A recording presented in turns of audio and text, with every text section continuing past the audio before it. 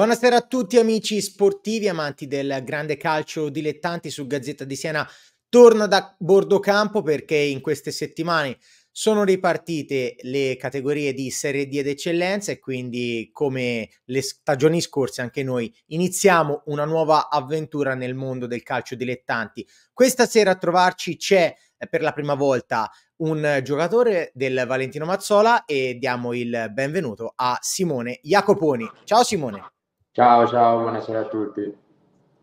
Classica domanda di rito, come stai? Visto che insomma eh, il campionato è iniziato, eh, categoria nuova, tante cose nuove. No, io personalmente sto bene, con, con, la squadra mi sto trovando molto bene, quindi diciamo che ci sono tutti i presupposti per continuare a fare secondo me un gran campionato.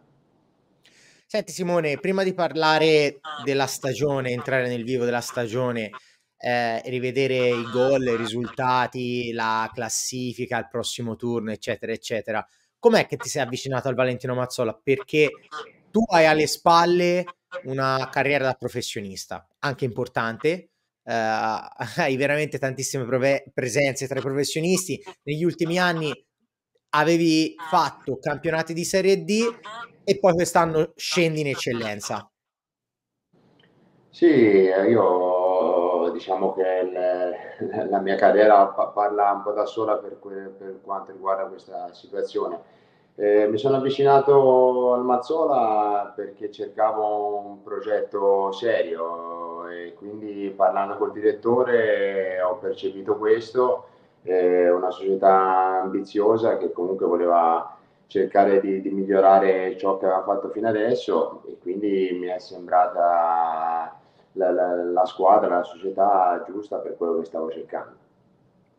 Stagione che è iniziata eh, ufficialmente con la Coppa Italia, nel quale poi eh, sarete impegnati anche in settimana eh, nel ritorno contro l'Asta, ma a partita alla quale arrivate grazie a, a due tuoi gol, due gol appunto di vantaggio, una vittoria per 2-0, due gol molto simili. Sì, due gol su due angoli eh, simili, una rientrare e una uscire, però comunque due gol su palla inattiva, sì. E parlando invece del campionato, settimana scorsa eh, c'è stato diciamo un, uh, un pareggio per uh, 0-0 contro il Lanciotto. Eh, rianalizziamo anche un attimo quella partita prima di passare a quella giocata e vinta contro il Foiano. Che partita è stata quella contro il Lanciotto? Perché il Lanciotto era una squadra nuova per questo girone, anche se poi fondamentalmente anche la vostra squa- squadra è nuova per questo girone, perché il Valentino Mazzola ha cambiato molto.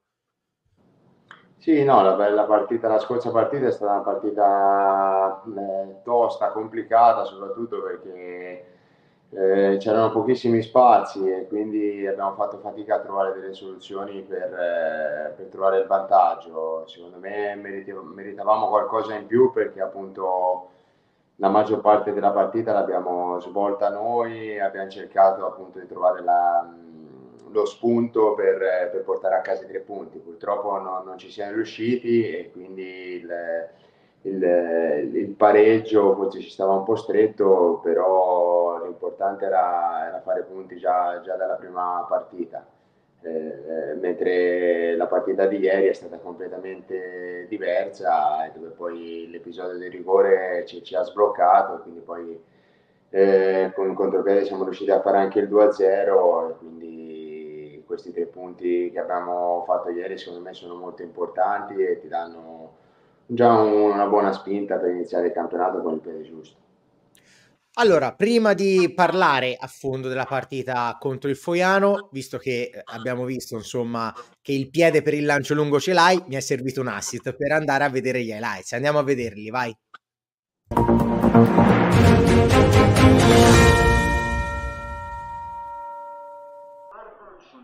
Allo Stadio dei Pini di Fogliano della Chiana si gioca la seconda giornata del girone B di eccellenza toscana. Il Fogliano e il Valentino Mazzola arrivano a questo match dopo i rispettivi pareggi contro Scandicci e Lanciotto e allora tutti comodi, un buon divertimento da Francesco Benincasa. Arriva il fischio e il direttore di gara è iniziata così questa seconda giornata. Un'assenza importante per Argilli che perde di fatto una prima punta da 13 gol lo scorso anno. Attenzione al tiro di Verdelli, il blocco da parte di Fontanelli a cercare un compagno là davanti. Camilli per Bohamed, pensa al tiro, va ad innescare proprio Bomaruan, la palla in mezzo, ancora per Bomahamed, doppia deviazione. Dopo scorso anno la juniors nazionale del San Donato, attenzione a Bohamed, con il sinistro vola Lombardini. La meglio Oxai solo per un attimo, Barducci, scarica dietro, da Gucci, cercare Oxai, eh, Tafly con il tacco dietro per il tiro poi che arriva da parte di Bomaruan e poi di Gregorio. Un po' di confusione in mezzo al campo. Corsi, è un 4 contro 4. Corsi, il tiro dalla distanza. Fontanelli vola. Inizia così il secondo tempo. Prima di arrivare però il Foiano con Bux. Servito da Corsi, palla dentro per Costantini in posizione regolare. No, aveva trovato un gran pallonetto. Barducci si allunga la sfera. Tafly a chiudere con Barducci, la palla poi toccata da Lombardini, salvata da Nannoni. Palla sul 9 che cross in mezzo verso Tafly, il controllo del numero 10, si libera per il tiro, forse con un braccio, calcio di rigore per il Valentino Mazzola, ha toccato con un braccio Nannoni. Camilli rincorsa corsa per il numero 8 che spiazza Lombardini e fa 0-1 a favore del Mazzola. Ancora aspetta a fare ulteriori cambi. Verdelli la mette in mezzo, allontana Jacoponi, può tirare Oxai, non impatta la sfera, riparte Bohamed in campo aperto, è un 3 contro 1, si butta avanti anche Jacoponi, c'è anche Tafly, Bohamed solo contro Bux, Bohamed a servire Tafly, torna su di lui, poi ancora Cacioppini la palla che rimane lì! È 2 a 0 Valentino Mazzola Bomaruan che esulta la Cristiano Ronaldo Corsi con il tacco, la palla è buona per Costantini, la prolunga per Mostacci, anche lui con un tacco, Costantini si butta in mezzo, può calciare con il sinistro, il tiro è debole in due tempi, blocca Fontanelli. Ha vinto 2-0 in casa contro Lasta in Coppa Italia, non c'è più tempo, il Valentino Mazzola rimane bestia nera del Foiano.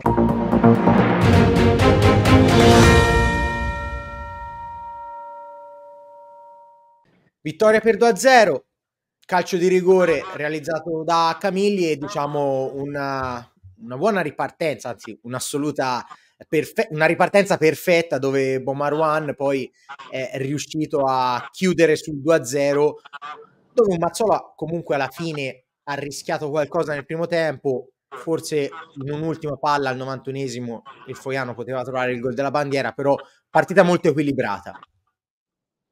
Sì, soprattutto secondo me il primo tempo è stata abbastanza equilibrata. Per quanto mi riguarda il secondo, secondo me abbiamo fatto meglio noi e meritato il, il vantaggio. Nel primo tempo forse c'è stato qualche episodio dove potevamo essere un po' più un po' più concreti, un po' più cattivi perché non tutte le partite comunque uno può creare 4-5 occasioni da gol e poi non, non, passare in vantaggio, quindi bisogna cercare di, di, sfruttare al meglio forse quelle situazioni che, che ci capitano eh, perché poi come ti ho detto non, non sempre si può aspettare la seconda o la terza.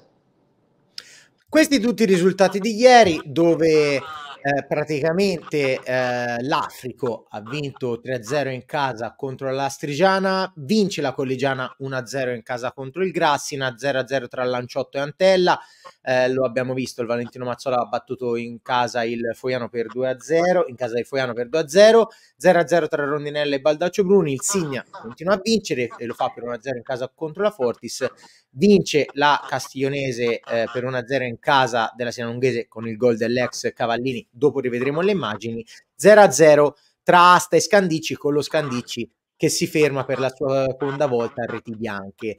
Eh, Simone, te sei un giocatore esperto della categoria, risultati che ti sorprendono oppure le big, le cosiddette big, eh, tranne il Signa che insomma è partita molto forte, uno Scandicci mi verrebbe in mente, eh, poi eh, diciamo la rondinella, sembrano stiano faticando in questo avvio di stagione.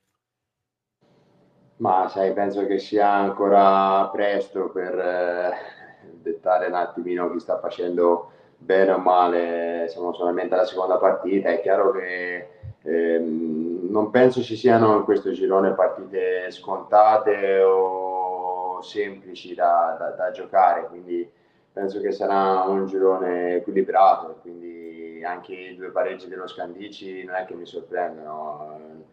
Come ti ho detto, vincere non è mai scontato e semplice, quindi eh, ognuno sicuramente suderà abbastanza in qualsiasi campo eh, e quindi la, la, appunto, la vittoria che noi abbiamo fatto ieri secondo me è molto importante.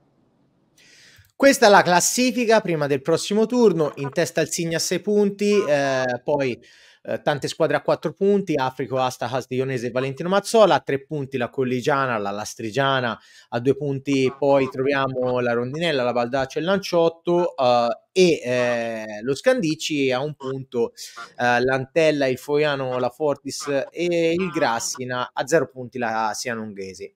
Parlare ovviamente adesso di classifiche è presto, però possiamo ben vedere che il Signa è, eh, partendo anche dalla stagione che ha fatto lo scorso anno, dalle riconferme che ha avuto in uh, staff e giocatori, è sicuramente una delle squadre che lotterà in questo campionato. Abbiamo chiesto al mister se il Valentino Mazzola può essere una delle squadre che lotta per il campionato. Lui ha detto calma, vediamo partita dopo partita. Simone Jacoponi cosa crede invece?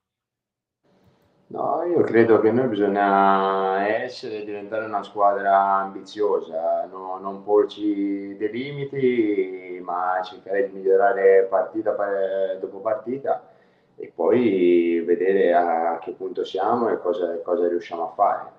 È chiaro che se, se ci mettiamo tutto noi stessi e, e quindi poi lavoriamo bene, secondo me qualche risultato importante possiamo farlo. Però come ti ho detto non è niente scontato e quindi bisogna sicuramente guadagnarci ogni, ogni punto su, su ogni campo. Prossimo turno nel girone B di eccellenza toscana arriva subito un bel test per, uh, per, il Valentino Mazzola perché ospiterà il Signa ovviamente no che gli altri test non siano stati importanti però insomma eh, arriva il Signa e Simone potrebbe essere appunto subito un bel banco di prova per voi.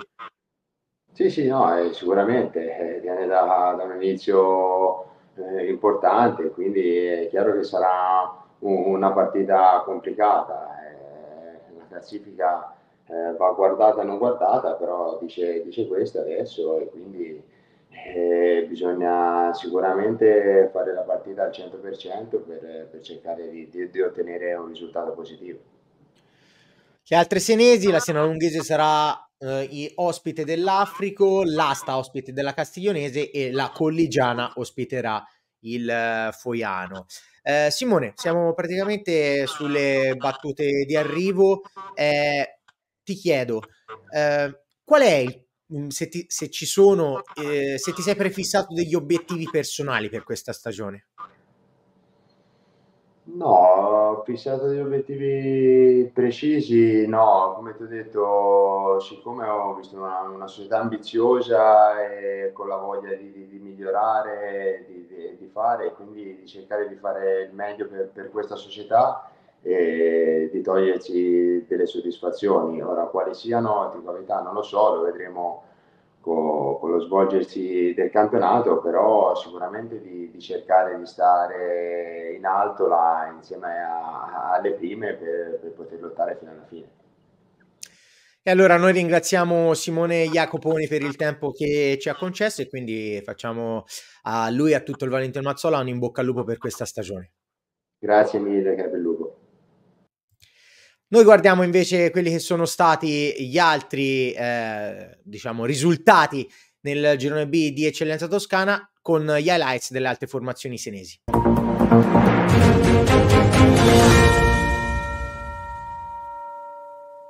È la prima in casa ovviamente per i rossoverdi che quindi eh, si affidano anche al loro folto, foltissimo pubblico e provano a partire subito pimpanti, ma è in realtà la colligiana che eh, prende eh, il comando delle eh, operazioni e dopo un paio di eh, folate offensive con Calamassi, trova il palo esterno con questa conclusione di eh, Carlotti con il mancino. La risposta del Grassina con Dini che va a giro anche lui col sinistro, la palla esce di poco. Il Grassina alla mezz'ora si fa ancora vivo con Simoni che riceve, prova la staffilata, bloccata però centralmente da Morandi. L'occasione maggiore per i rossoverdi arriva qua con Alfarano che raccoglie da corner, trova una prima respinta e poi manda alto Un'altra folata offensiva della Colligiana, l'uscita così così di Bartoli. Non ne approfitta però Corcione a raccogliere un cross che arrivava da destra con eh, le immagini e il montaggio di Fabrizio Giannoni. Passiamo alla ripresa con il secondo tempo che eh, inizia eh, senza sostituzioni, ma è proprio nel primo minuto della ripresa che si verifica l'episodio che poi alla fine risolve la partita. Il Grassina eh, sembrerebbe portarsi eh, in avanti con Raffanelli che cerca eh, Becucci, viene messo giù, non fischia però fallo il direttore di gare, il signor Danesi di Pistoia. L'azione dunque prosegue con la Colligiana che manda in avanti Pampalone, svirgola il rinvio, favorisce la battuta al volo di Corcione. Con il destro trova la battuta vincente il numero 7, porta in vantaggio i suoi rischia anche di raddoppiare la colligiana, ma risponde presente Bartoli sul numero 10 ospite. Il Grassina si vede con questo tentativo di Simoni eh, nel finale, fatica un po' a reagire, lanci in avanti eh, per Parini, il subentrato Betti, eh, ma i rossoverdi non riescono a trovare gli spazi per il eh, pareggio, nonostante i sei lunghi minuti di recupero. E allora devono eh, alzare bandiera bianca nei confronti della colligiana che eh, viola il Pazzagli come nessuno in passato eh, nella scorsa stagione di promozione era riuscito a fare Grassina 0, Colligiana 1. Questo è il finale dal Pazzagli. Per la prima volta nella storia al campo sportivo Arnaldo Satini di Taverne d'Arbia va in scena una partita del campionato di eccellenza. L'Asta ospita lo Scandicci per il match valido per la seconda giornata. L'inizio è contratto da parte di entrambe le squadre e la prima occasione della partita è per lo Scandicci al ventesimo, con Meucci sulla destra che cerca in mezzo del Pela, il numero 9 non arriva per poco, complice anche la buona guardia di Manganelli. La prima frazione scorre via senza regalare altre occasioni da gol e con le immagini siamo già nella ripresa. Ancora Scandicci pericoloso con il cross in mezzo su cui Del Pela stacca più in alto di tutti. Attento Cefariello che è provvidenziale in tuffo. Occasione asta al ventunesimo della ripresa, sul cross da corner Manganelli arriva a staccare indisturbato, il difensore però non riesce a schiacciare la palla e ad indirizzarla verso la porta. Torna a farsi vedere l'asta con un'azione ben manovrata in avanti, alla fine Batoni tenta il tiro che però viene deviato in corner. Spinge nuovamente lo Scandicci che scambia rapidamente al limite dell'area, Grillo si libera e calcia, Cefariello devia sopra la traversa con la punta delle dita. Gli ospiti provano il tutto per tutto a pochi minuti dalla fine e Poli con il mancino manda a lato di poco. Torna a farsi vedere anche l'asta con il tiro da punizione di discepolo, Fedele blocca centralmente la sfera. Ad un minuto dal novantesimo lancio verso Del Pela che prova a scappare in campo aperto, provvidenziale nuovamente Cefariello che accorcia le distanze e ferma la conclusione dell'attaccante. Lo Scandicci ci riprova nei minuti di recupero, cross in mezzo, la palla resta lì e Del Pela manda di poco fuori. L'ultima occasione della partita è la punizione a favore degli Arancio-Blé. Bandini calcia forte, ma la deviazione consente a Fedele di bloccare. E finisce qui, l'asta strappa un punto importante contro lo Scandicci e mantiene l'imbattibilità dopo le prime due giornate di campionato.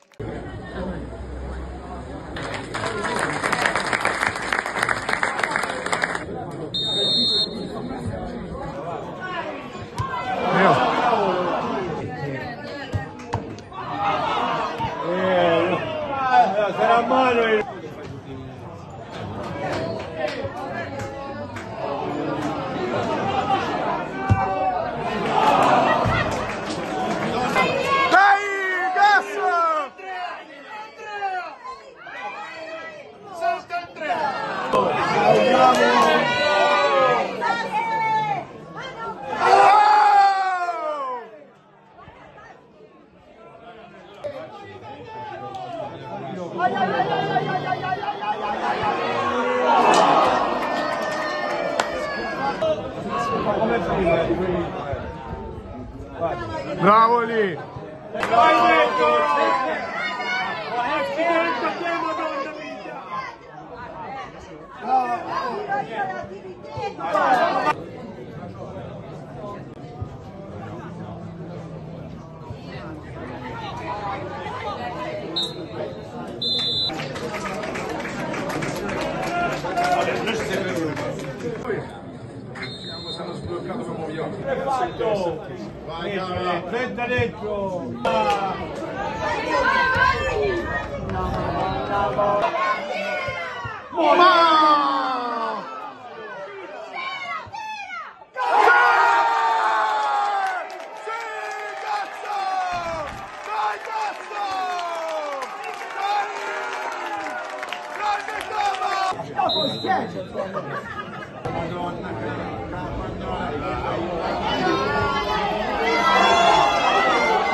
Bravo Lidia.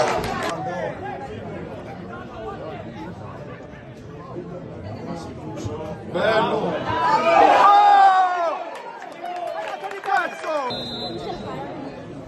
Andiamo?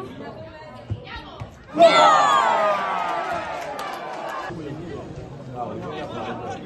Bravo Monica!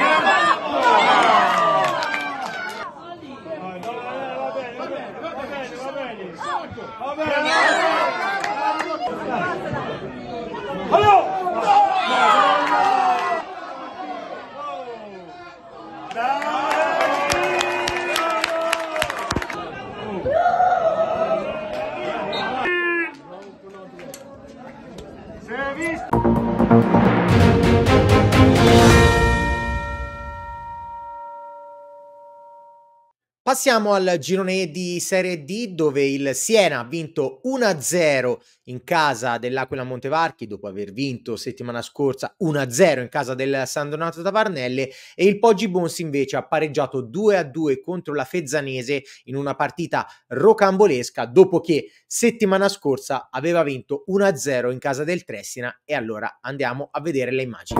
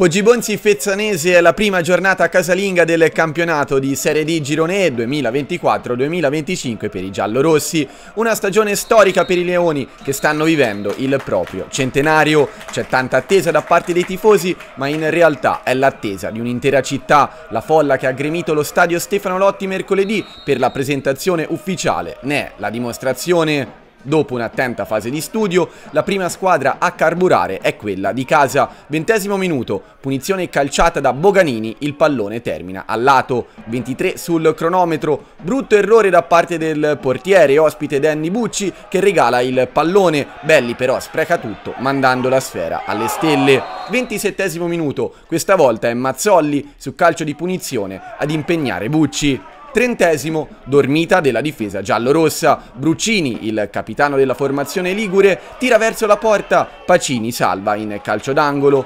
Trentacinquesimo, passano in vantaggio gli ospiti. Bruccini, con una prodezza balistica, mette la palla alle spalle di Pacini, 0 a 1. Sul finire del primo tempo, Borri va vicino al pareggio con un colpo di testa sugli sviluppi di calcio d'angolo ma si va all'intervallo sul risultato di 0 ad 1 per i Verdi.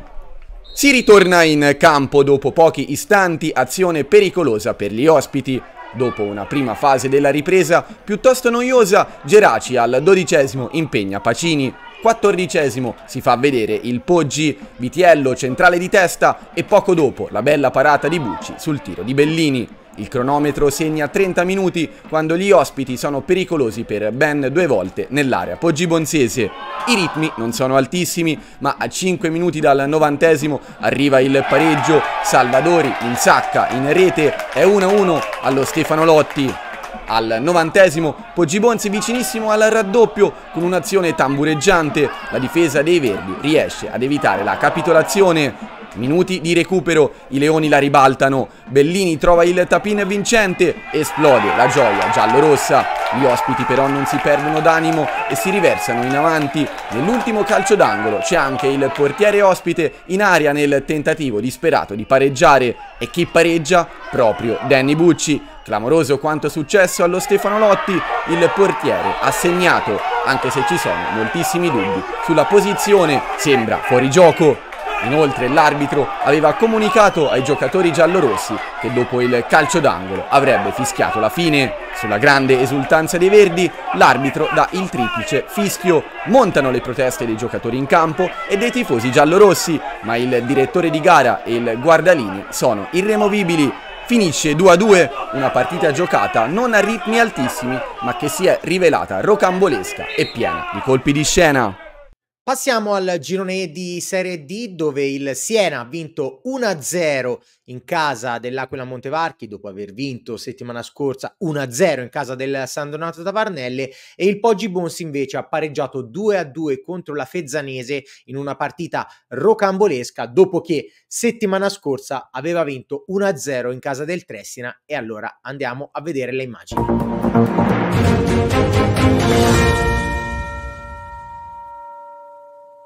Questa invece la classifica del girone E dopo due eh, giornate, in testa il Siena a punteggio pieno, il Figliene a quattro punti con il Grosseto, il Poggi Bonzi e il Seravezza a tre punti. Poi troviamo la, il Foligno, il Ghiviborgo, l'Orvietana, l'Ostia Mare, la San Giovannese ed il Livorno a due punti. La, il Flaminia un punto per l'Aquila Montevarchi, la Fezzanese, il Follonica Gavorrano, il Terranova Traiana, zero punti ancora il San Donato da Varnelle e il Trestina. Amici sportivi, amanti del grande calcio dilettanti, per questa settimana da bordo campo termina qua. L'appuntamento, come sempre, è a martedì prossimo alle ore 21 su gazzettadisiena.it. Una buona serata da Francesco Benincasa.